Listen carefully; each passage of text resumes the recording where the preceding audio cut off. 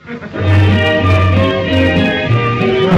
do you think you are kidding, Mr. Wilson?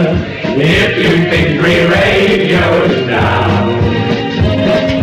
We are the boys who will stop your little game. We are the boys who will make you think again. So I hope everybody's singing along to this. I want to know why, if you're not. If you think free radio's Mr. Stonehouse lost to jam at 521. And he comes home at 2 a.m. His dirty work is done. So watch out, Mr. Wilson, you have met your match in us. If you think you can crush us, we're